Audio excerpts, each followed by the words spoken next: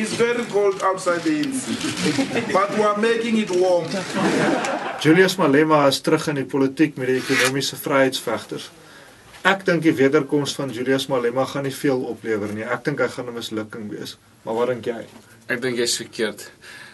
Sy toetrede is waarskynlik die mees opwindende ding in die politiek in die laaste 3 jaar. Ek meen hierdie man is 'n is 'n tsunami golf van van van anti-ANC sentiment op die oomblik en hy spreek vir hy praat namens 'n groot deel van die samelewing vir wie niemand vir wie almal ignoreer het tot op die staat tot op hierdie stadium. Die die swart werklose jong man wat wat na wie niemand luister nie. Nie die sake sektor nie nie enige ander politieke partye nie. Ek dink dat daar is vir hom 'n groot toekoms Wel ek sê nie dat sy standpunte nie aftrek gaan kry nie. Ek wonder of hy gaan suksesvol wees in die partytetiek want daar was nou al soveel partye wat ons nou al van 1994 af gedink het presies hierdie tipe van uh, stem gaan kry waarna jy nou verwys. Neem nou byvoorbeeld in die 94 verkiesing het almal gedink die PAC gaan goed doen en almal het gesê watch maar. 94 is die bevrydingsverkiesing, 99 dis die PAC se verkiesing. So ek dink hy het baie uitdagings voor. Ja, ja, maar wat wat is die verskil? Mense sou ek sê is nou nog meer desperaat as wat hulle nog ooit was in ons demokrasie se geskiedenis.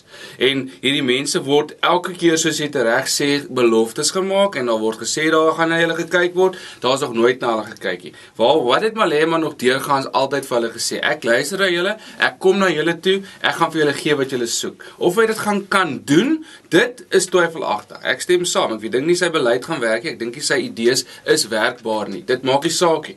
Hy's 'n uitlaatklep vir hierdie ouens wat frustreerd is, wat desperaat is en ek meen hy gaan na hulle toe. Hy gaan na die na die ergste areas toe en hulle ruk op in hulle massas en luister na hom. Of hulle gaan stem, dit sal ons moet sien. Wel, dis nou my ding want um jy sien die groot ding is Ek dink as jy kyk na stempersentasies in daai gebiede is dit nie baie goed nie en jy het verskriklik baie geld nodig om 'n groot uh, verkiesingsveld tog te hou in 'n uitgestrekte land soos hierdie.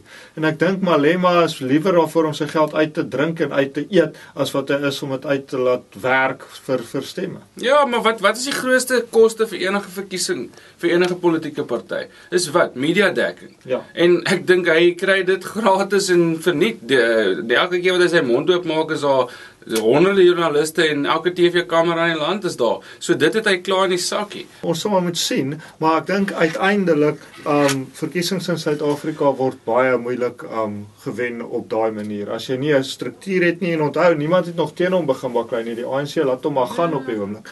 Korrek, nee, kyk, struktuur is belangrik, nê. Nee. En uh maar ek ek ek persoonlik was was was nogal baie uh verras deur die deur die die die die die fondasie van 'n struktuur wat hy reeds gelê het. Leiers in elke provinsie, topleier in die party. Coke kon dit nie eens doen in wat 8 jaar van politieke ry nie. Hulle beklei nou nog in die hofrevisie baas. Daar het hy reeds vir my gewys wel, ten minste is ons, jy weet, het weet ons ons moet iewers begin. Sal sien hoe hy afloop. Praat volgende week weer.